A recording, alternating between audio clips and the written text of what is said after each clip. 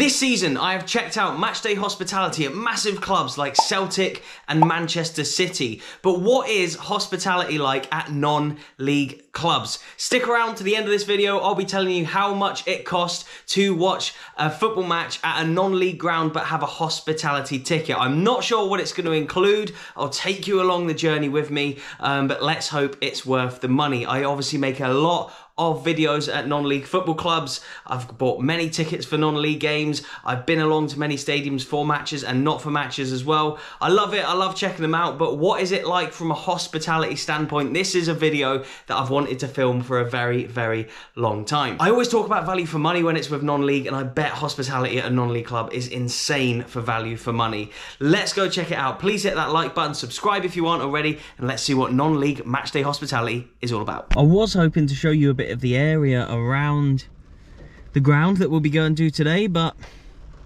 it is grim out there. And so I'll wait for it to clear up a little bit, see if I can actually go out there, um, but I'll use this time now just to show you who we'll be seeing play today. It is third Pollok versus second Darvel. I'm excited for this one as I've never been to Pollok's ground before and I've had a lot of people recommending that I go there.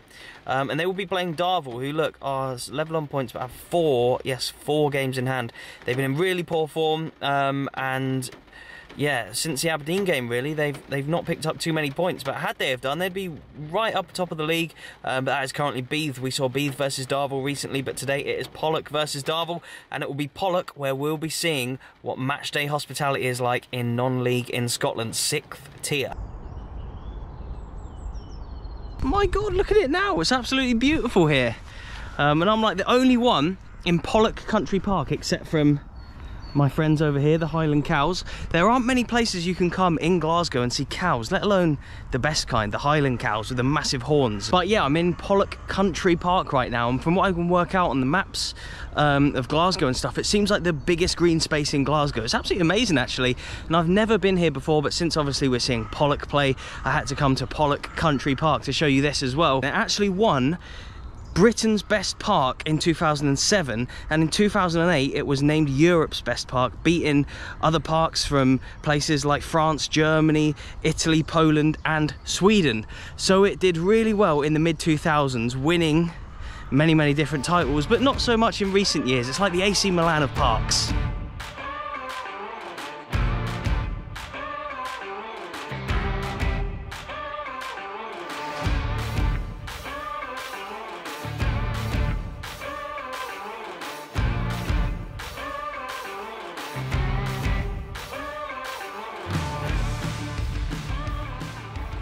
As you can see I'm now inside the home of Pollok and it has proper non-league vibes. This is what I wanted from tonight was a proper non-leaguey vibey stadium to try the hospitality out in. I've done a lot of videos recently where I've um, there was the Renfrew one the other day where I visited them during a ground hopping video and I saw that the hospitality was £25 and what you got for it looked amazing value for money.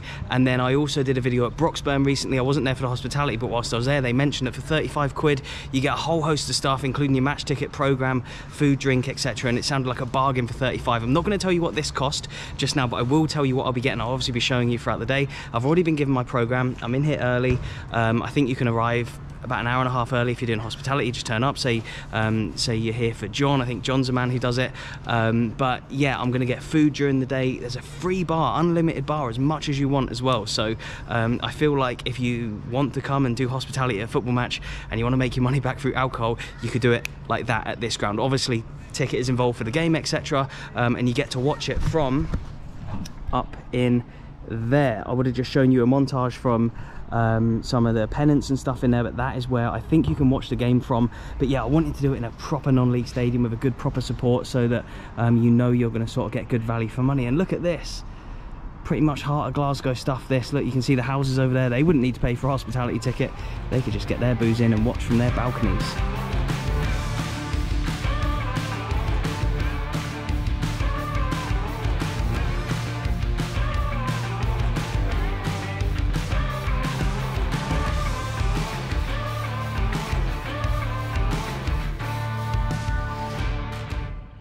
Big day today, isn't it? It's uh, second versus third in the Western Scotland League. How big is today for Pollok?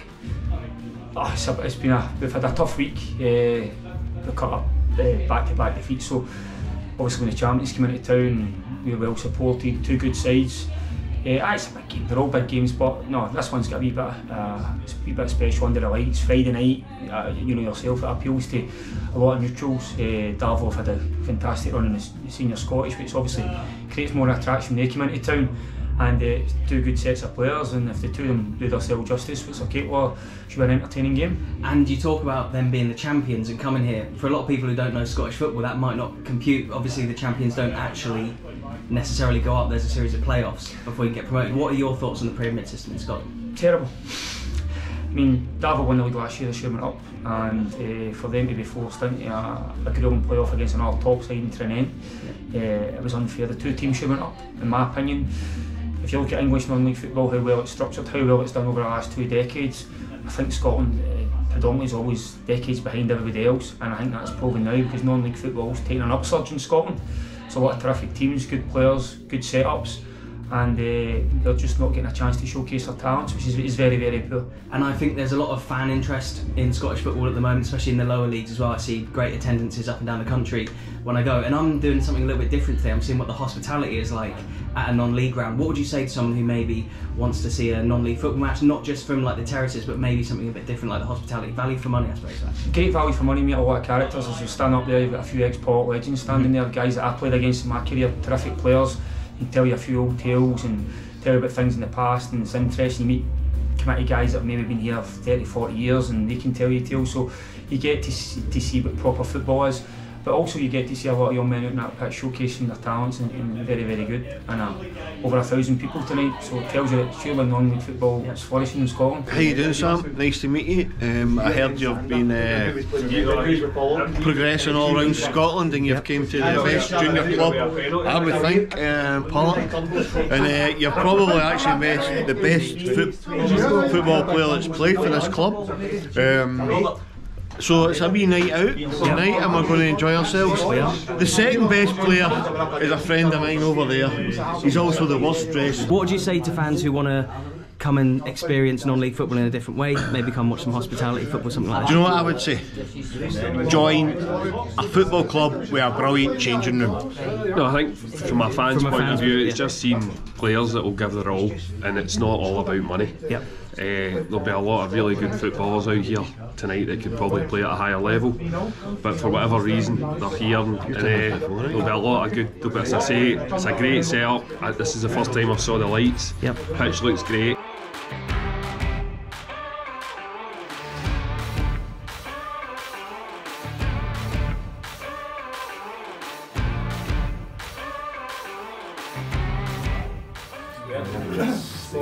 Black, uh, stuff. Can you open the windows? It's ridiculous. It's a penalty to Pollok. Would you say it was a pen? You said a Stonewaller. Stonewaller. Right. Through the back. Penalty to Pollok. This could be a big goal if it goes in for the um, for the title race. But look, yeah, as you can see, I'm out into in the stands now. We'll be back up there at half time for a, a pie, I think, but all included in the price.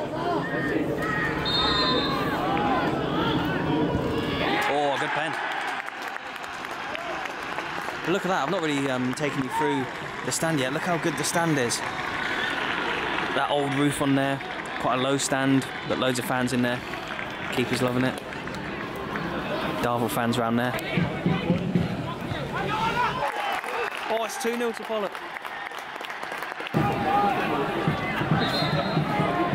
So you're Pollok fans, yeah? yeah? What do you say is the best thing about being a Pollok supporter? Just like uh, the fans. The limbs, yeah. Scored. Yeah, yeah, yeah. And it's um, going well so far. You're 2 0 up. Yeah. Do you think um, you can mount a title challenge if you win today? I don't know. Bit more pragmatic, you think so? And it's 2 0 just now. Final score, what are you saying? 4 0. 4 0. 4 1.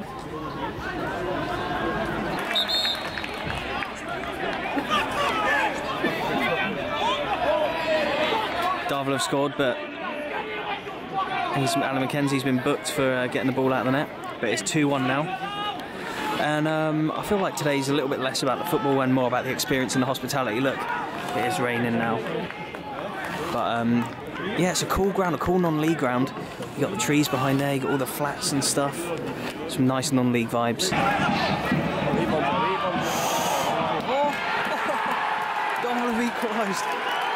two all in the first half. A 2 0 Pollok. Darvel have scored twice in what, a minute? 50 minutes, yeah.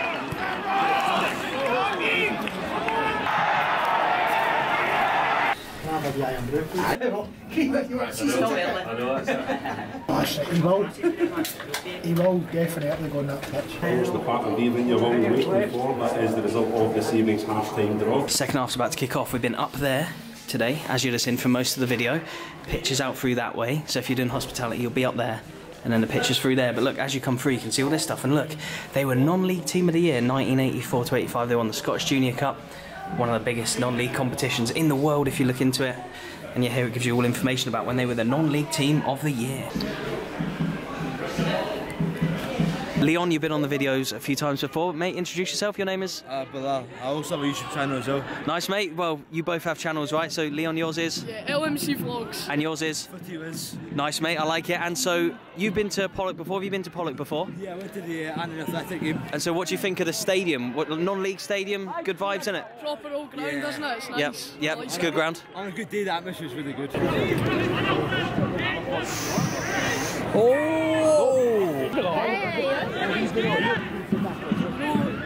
Evan, mate, good to chat. We've just been chatting during the game.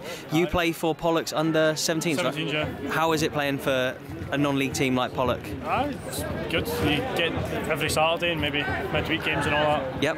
And the sort of dream for you is to play for a club like this? Do you want to move your way up through the pyramid, or? I mean, obviously through the pyramid, yeah, but I've been training with the team and all that. I obviously know how getting the experience and all that. Yep. And um, what are your thoughts on the pyramid system then? Obviously, being a young player trying to break through at a non-league team, do you see a future in it? Like, obviously, the promotion can be a little bit Aye. tight in, in certain leagues. And obviously it goes through weird and the promotion, that, but I've played football for five years and I'd obviously like to break through into this team. and all that. And what would you say to people who want to maybe come and watch a game at this level? Obviously, if you come watch, I'll get experience because practically, like here, Karat, some of them have obviously still got part uh, jobs and then Yeah. they do that. And then, Good commitment in it. Aye. Darvel scored. I'm sure they won it. A lot of the Darvel fans have left. What about that, lads? Big turnaround for Darvel. You were 2 0 up, it's now 3 2 I thought Darvel. it was going to be 4 0. A lot of people have left as well. So they've missed the goal, but. Shock a few boys, isn't it? At least there's a winner in it. Yeah, at least we've seen a goal in the second half.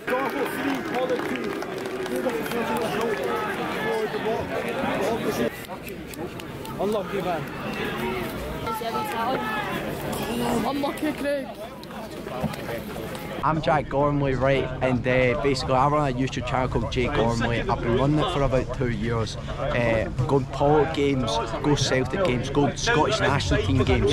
So I'd really help it out, right? I'm a small channel. There you There go. Instead of supporting an English Premier League team, I thought after COVID, why don't I come down and support my local? Yep. Uh, and that's what it's all about because they are obviously going to be lacking on money and things like that. course, like- so it's a big thing. And how are they getting on this season? then? Uh, third place. We've obviously we've got the best pitch in the league because we've played 22 games, which is the most out of any club in the league.